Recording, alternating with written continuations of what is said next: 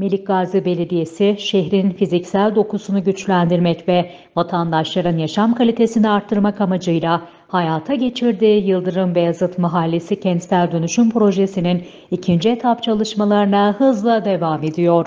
Bu kapsamda gerçekleştirilen çalışmalar bölgenin estetik görünümünü de zenginleştirmeyi hedefliyor.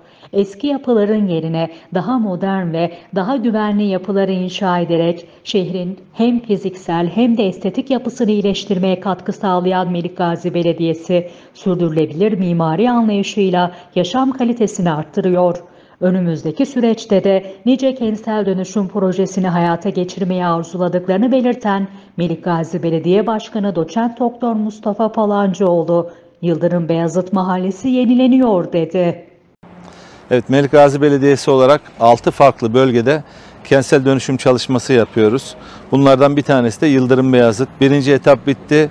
İkinci etaba geçiyoruz inşallah. Bu gördüğünüz bölüm Yıldırım Beyazıt'ta e, Doktor Sami İpek Bulvarı'nın üzerindeki ilk etabımız. E, iki sene olmadan bu çalışma tamamlanmış olacak. Gördüğünüz gibi 6 bloktan oluşan ve birçok vatandaşımızın problemini çözüp e, sağlıklı, sıhhatli oturmalarını inşallah sağlayacak olan e, güvenli e, burada kentsel dönüşüm çalışmasını bitirmek üzereyiz ki peyzaj çalışması başladı. Gördüğünüz gibi e, serseminler, kaldırımlar, otoparklar yapılıyor. Yakında ağaçlandırmasını yapacağız ve hakikaten Kayseri'ye yakışır, Melik Gazi'ye yakışır çok güzel bir projenin tamamlanmasını e, sağlamış olacağız. Hemen yanı tarafında yine 6 bloktan oluşan ikinci etabın e, çalışmaları başladı. Şu anda 3 blok temeli atıldı.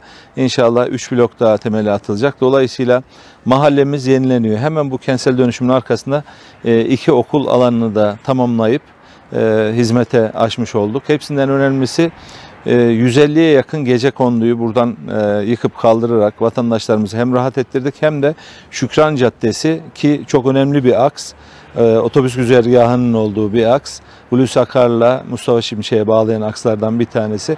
Burayı da tamamen yapıp güzel bir yol projesinde hayata geçirmiş olduk. Hayırlı olsun diyorum.